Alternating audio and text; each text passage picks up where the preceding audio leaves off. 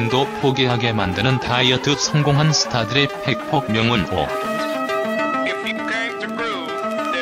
인사이트 진민경 기자? 나 오늘부터 다이어트 할 거야. 부쩍 더워진 날씨에 여름이 코앞으로 다가왔음을 실감하게 되는 요즘 다이어트를 결심하는 이들이 많다. 그런데 밤마다 찾아오는 야식의 유혹에 결국 내일로 미뤄버리는 일이 부지기수다. 다이어트 결심이 매번 흔들리는 이들을 위해 준비했다. 건강을 위해, 아름다움을 위해 포기할 수 없는 체중 감량을 도와줄 다이어트에 성공한 연예인들의 명언 모음이다. 가수 김종국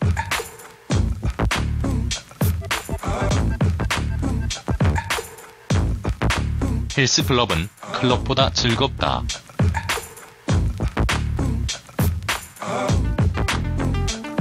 연예계 운동왕으로 알려진 김종국이 한 말이다. 이 말을 되새겨 신나는 음악에 맞춰 러닝머신을 뛰다 보면 어느새 여신, 남신으로 거듭날 수 있을지도 모른다. 마마무 솔라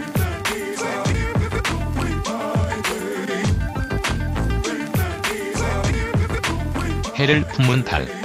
죽을 것 같지만 죽지 않습니다.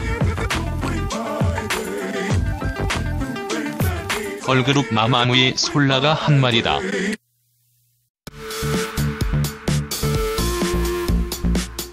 운동하느라 식단 조절을 하느라 고통스럽지만 결국 죽지는 않는다는 말에서 다이어트에 굳은 의지가 필요하다는 것을 알 수 있다. 가수 겸 뮤지컬 배우 옥조현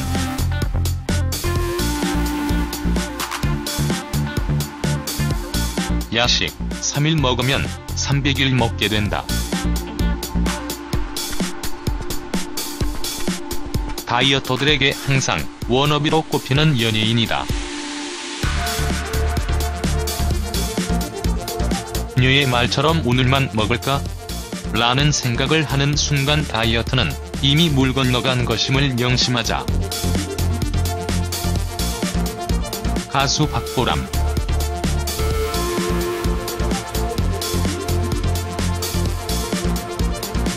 패션, 메이크업 모두 새로워진다.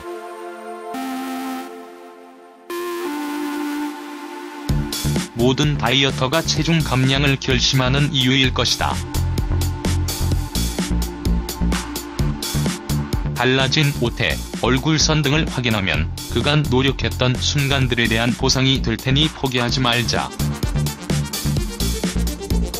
모델 이소라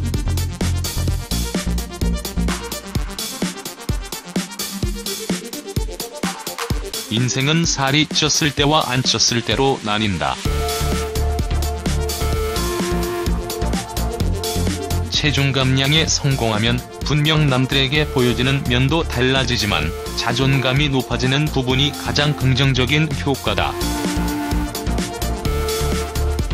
원하는 스타일의 옷을 마음껏 입고 당당하게 거울 앞에 설 수 있게 될 테니 지금 당장 다이어트를 시작해보자.